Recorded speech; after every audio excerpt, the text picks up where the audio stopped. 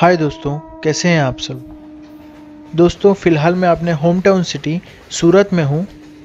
सूरत शहर तापी नदी के तट पर बसा हुआ है, जो कि डायमंड सिटी और टेक्सटाइल सिटी ऑफ़ इंडिया के नाम से भी जाना जाता है।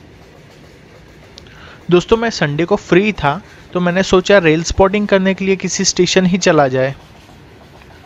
तो मैं उधना जलगांव लाइन के चलथान स्टेशन पे रेल स्पॉटिंग करने गया था। जो कि सूरत शहर में ही आता है। दोस्तों, यहाँ मैं बताना चाहूँगा कि चलथान अपने शुगर फैक्ट्री के लिए भी प्रसिद्ध है। चलिए तो दोस्तों, आप एंजॉय कीजिए हाई स्पीड एक्शन को और मैं आपसे मिलता हूँ वीडियो के अंत में।